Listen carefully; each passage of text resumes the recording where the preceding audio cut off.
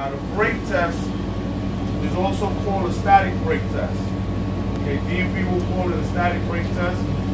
Um, just so that you don't get confused if they tell you, hey, perform the static brake test. You, you already know what it means, okay? It- what they're referring to is your brake test, ALSAT, what we call ALSAT, right? Just static brake test. Static brake test, yeah. Same thing. Alright, so now how- what's the first test? Air leakage. Air leakage. air leakage brake check, okay? Bus is completely off. The bus is completely off. You're gonna let the DMV person know I'm performing my air leakage brake check, okay? You're gonna step on the service brake. Step and hold it. All right, for an additional 60 seconds. So initially, you step on the brakes, all right? You let them know, let he or she know, I didn't lose no more than 10 psi. Okay? You're gonna hold it down for an additional 60 seconds. Okay? That's it. That's that's how you perform it, right? Now you, you must have a watch, and you you're looking for 60 seconds to pass. When 60 seconds pass, let it go and, and just inform them. I didn't lose no more than two psi. All right? My air leakage brake, I have no leaks. Okay? The second thing you're gonna do is your is your low air warning device check. Okay? So now you're checking the low air warning device. It's a device, right? The bus is gonna need some juice. So you take your master switch, you put it all the way over to um, two clicks onto lights. Either lights or night run. But you never start the engine. Alright? All you're doing is giving the bus some power. Okay? Once you do that, you have to drop the air pressure down to 60 psi. Anywhere from 70 to 60 psi, the, the low air warning device should come on. Now you're gonna deplete the air. Alright? You're gonna fan the brakes. Okay? Right now the air pressure is dropping. Okay? It's dropping. Once it reaches 70 to 60, that vicinity, it should go off. Okay? Uh, one thing I forgot to tell you, you when you turn it on, you gotta hit the test button. Sorry. Yeah, tell, Okay? tell, tell, You have to hit the test button and let them know that the low air warning device light and the buzzer is working properly. Then you start fanning the brakes. Okay? Um, and then you let them know.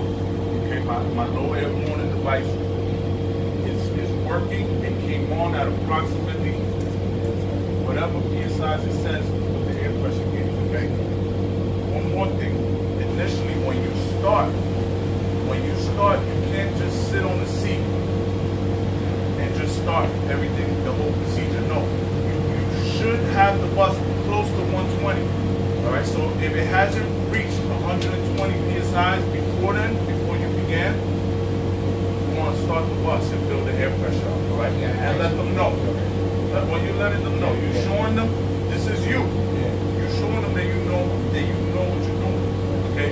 You don't want to um, turn just start at like 90. You start at 90, you step on that brake one time, it's over. You know? okay? So after your low air warning device, you, you're performing your spring brake test, right? Your spring brake. Okay? You following me? Yes. Okay. So you let them know, listen, my spring brake test. All buses manufactured after 1991 are equipped with a spring brake according to my registration. And behind you should be your manufacturer's plaque. And my manufacturer's plaque in back. This bus manufactured June 2009. Okay? This bus is equipped with a spring brake. Um, before I release my parking brake, look around. Okay? My bus is on level ground. I'm gonna hold the service brake and release the parking brake.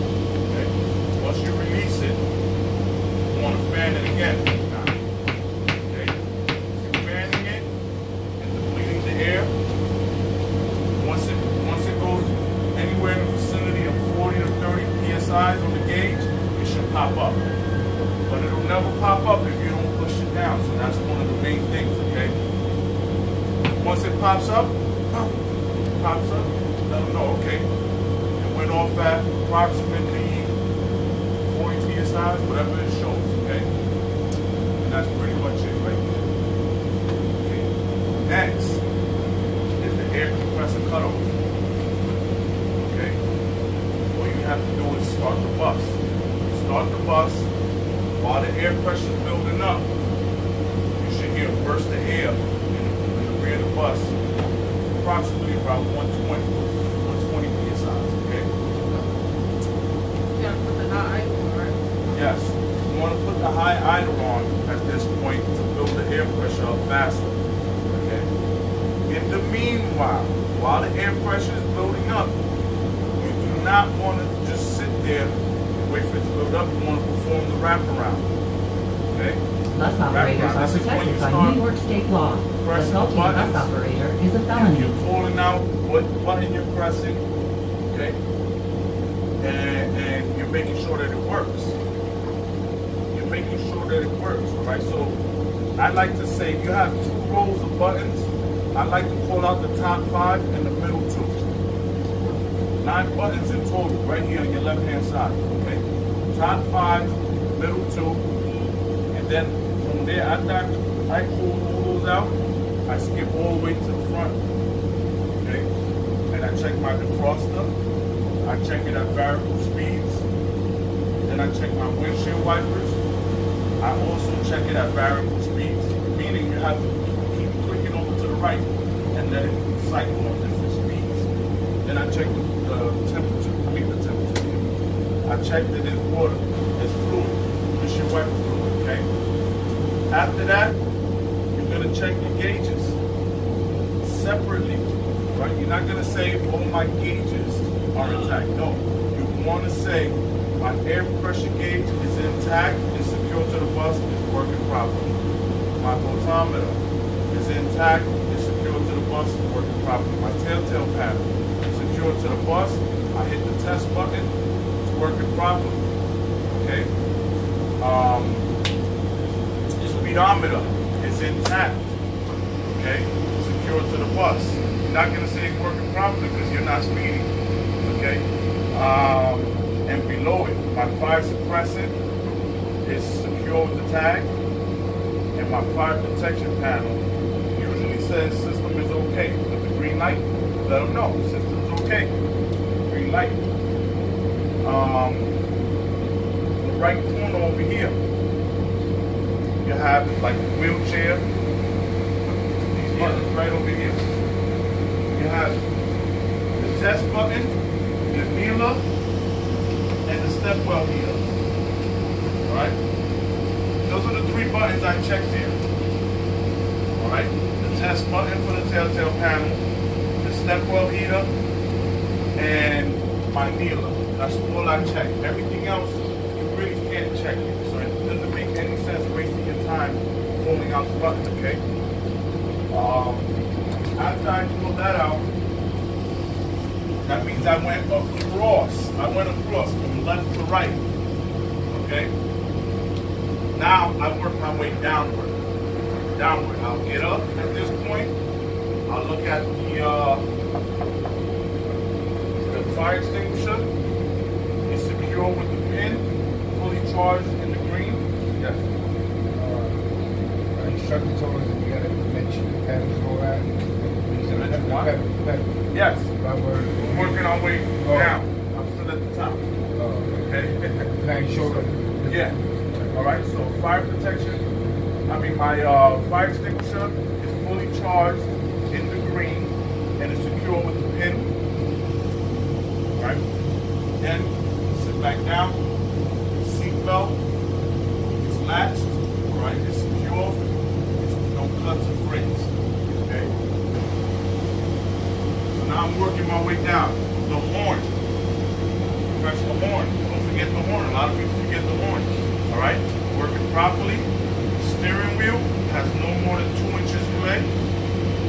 Go all the way to the right. No binding to the right. Go all the way to the left. No binding to the left. Pull up on the little lever right on the steering wheel. Pull it up. All right. Telescopic is working properly. Down. The tilt is working properly on the steering wheel, right? You guys remember that, right? Work my way all the way down. All the way down at the floor, I have the uh, my high beams, high beams and low beams. All right, looking at the panel, the telltale panel, working properly. All right, left signal is working properly. Right signal is working properly. My my service brake and accelerator have good rubber. Right, the operator's compartment is clear breathe. Okay. By then, at some point, by then, that air compressor, the air compressor went off. It burst. Whenever, while you while you pulling things out and you're checking these buttons, you have to keep an open ear. Whenever it goes off, that's when you stop what you're doing. You just pause it, basically. You pause what you're doing. You say, okay, my my air compressor just went off, and you let them know whatever the the reading is saying, all right, on the air pressure gauge. Um, if it didn't go off, or maybe you missed it, this is when you turn around and you say, okay, I'm at 120 psi. I didn't hear it, or it hasn't gone off yet. You understand? But it's good to know we're at 120. Okay, I may have missed it, or it hasn't gone off yet. Okay. Um, after that, you can perform your parking brake test, which will be with the parking brake up, put the bus in drive, and make sure it's in drive. Like, don't press the drive button without holding down the service brake, okay? Hold down the service brake, put the bus in drive, and proceed forward, drive. Okay, like that. Hit the, hit the accelerator, it doesn't move anywhere. Okay, parking brake is working properly. Service brake. Service brake, you have to um, release the parking brake anywhere from 10 to 50 feet at 5 miles an hour. You simply stop the bus nice and easy and let them know the service brake is working properly, okay? At that point, you can do your, you can uh, after that, you've gotta set the bus up. Alright, set the bus up for uh, exterior pre-trip inspection, or if you like, you can do the interior. Okay. Um, one thing you can't do though, you cannot check the outside of the bus with the bus on. Always remember that. Upon request, priority seating must be given to people with disabilities. so let's set the bus up for pre-trip inspection, and then we're gonna go outside and um, do the inspection.